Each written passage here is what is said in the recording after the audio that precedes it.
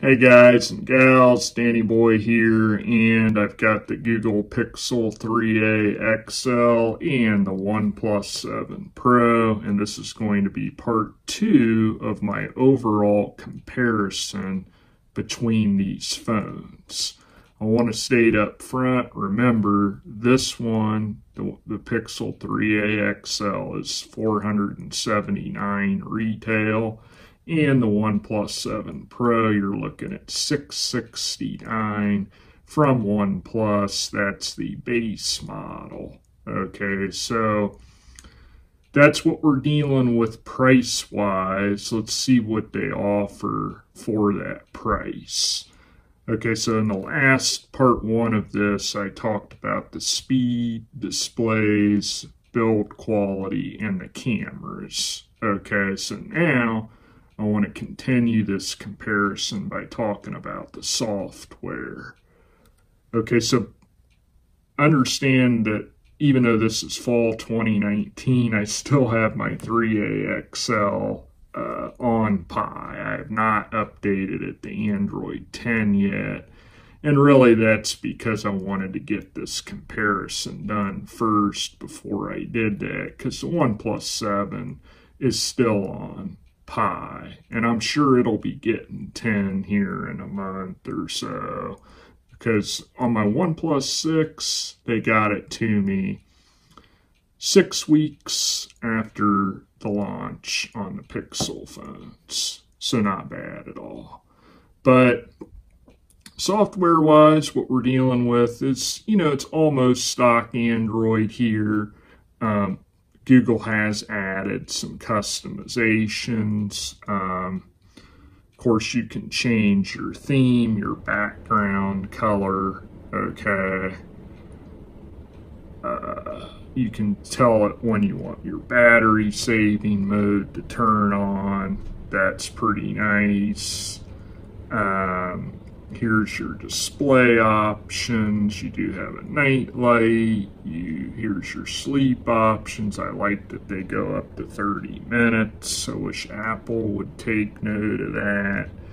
Um, got your colors now. I wish there was more choices here, but this is what we're dealing with here. And again, I don't know what they've done with Android 10. I've not watched anything on it.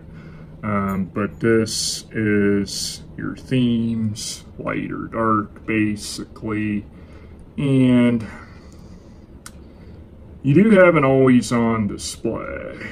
Let's see where that is, right here. Now that's pretty sweet.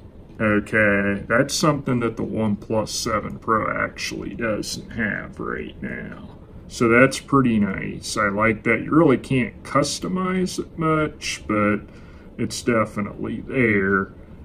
Here's your sound options, pretty standard here. Okay. And got, here's your accessibility. Okay. Pretty standard. Alright. So yeah, I mean, there's nothing really super special here going on software wise. Probably the sweetest thing about this phone software wise is the fact you get the updates uh, before anyone else because it's Google's phone. They send you the latest and greatest and the Android updates, security updates, all of that. So if you're a person that likes your phone to be up to date, uh, the quickest and always, then this would be the way to go. Okay. Now let's consider the OnePlus 7 Pro software. So here we're dealing with Pie. The way OnePlus does it is they have this sidebar here where you can put all your widgets. And I really, really like that. I like the centralization here. Okay. It's kind of like what Apple does. Okay, you can put widgets out here on the desktop too, but software, okay, so here again, you can change the background to dark or light. However, they do allow you to change your accent color. You see I have blue selected, a shade of blue, and you can change that up for all kinds of different colors. Display wise, you got a night mode, you got a reading mode. Basically what that'll do is turn the screen black and white on certain um, when certain apps are launched for better reading. Got a whole bunch of options here on your screen calibration. I really like that. Personally, I like my phone to be as saturated on the screen as possible. Okay, of course, you got your refresh rate setting. That's hot. I like that. And you can bump down the resolution or even have the phone auto switch it if you so like. So that's pretty sweet. Got a video enhancer. You do have a raised awake ambient display. There was what I was talking about with the accent color. Okay, pretty good. Status bar. So you can actually change your battery icon there. That's real nice. Okay um, icon manager. You can hide icons up in the status bar here. So things you don't want to show you can hide them that's a pretty unique feature okay and you can even change the time to go away or add the seconds Okay. So pretty good options here. Definitely more customization going on here versus the 3A XL. And honestly, for me, this is big. I like all these customizations. You have Dolby Atmos support, got an earphone mode. This does not have a headphone jack, by the way. Um, but here's your sound options, uh, buttons and gestures. This is another big part here. So you got three different ways to navigate the phone. I got the old school buttons going on right now. You can do the Android Pie suite, or you can do OnePlus's gestures, which I like those better than the uh, Android offering. But um, you also have um, uh, two, you can do, two different options with your navigation button. So you do a long press or a double tap, and that allows you to do different things with the buttons. That's kind of one of the reasons I got the old school buttons going on. Okay. And then back in here, quick gestures. You can draw these symbols when the phone is off and do different things. You can do these different options here, or you can actually launch an app. So that's really high. I actually use that a lot for the flashlight. Okay. So definitely a good amount of customization here. Okay, very good. It's not no Samsung or LG level of customization. I would say it's more in the middle, but it's definitely a lot more than the Pixel 3a XL. Okay, let's talk about unlocking these phones. Okay, so the 3a XL has a rear mounted fingerprint sensor and that's your pretty much your primary primary way to unlock the phone and as you can see it is really fast here guys okay OnePlus they have an in-display fingerprint sensor okay and it's pretty good pretty accurate pretty responsive okay they also have a face unlock, and, the way that works is the camera will pop up and unlock your face. It's pretty fast.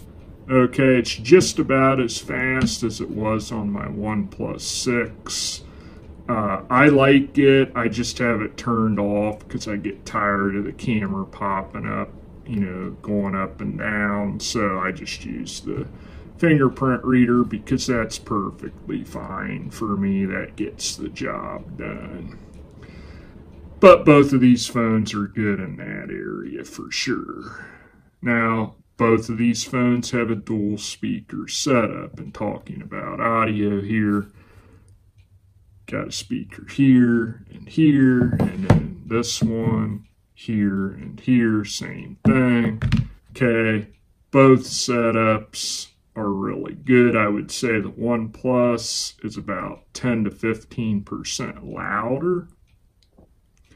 But I would say the 3A XL feels a little bit clearer when you're listening to it. So it depends on what you're looking for, more loud or more clear.